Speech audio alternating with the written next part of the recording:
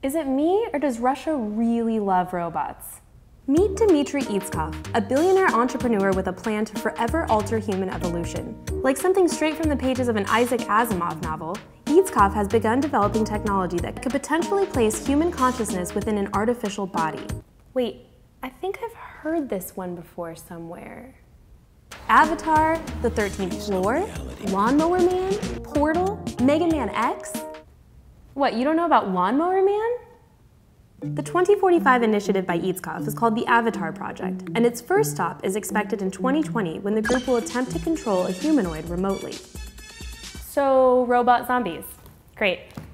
In 2035, the Avatar Project is looking to correct that pesky robo-zombie problem by transporting a subject's memories and emotions directly into a humanoid replica. Finally then, by 2045, Itskov envisions that humans will be able to take on AI forms, which could occupy bodies on different planets or even exist within the internet.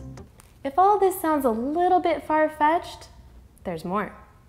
The forward-thinking billionaire has gone on record saying he believes future bodies will be able to travel with technology similar to Iron Man's suit.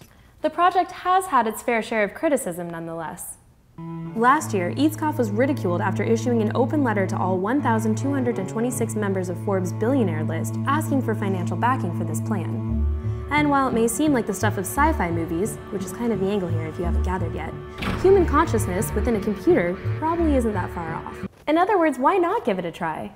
Last year, scientists at the Swiss-based Blue Brain project were able to successfully simulate the electrical circuitry that carries thought through the human brain using a supercomputer.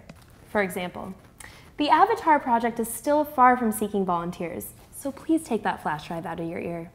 From the farthest reaches of the internet, I'm Kegan, and this is Rocketboom.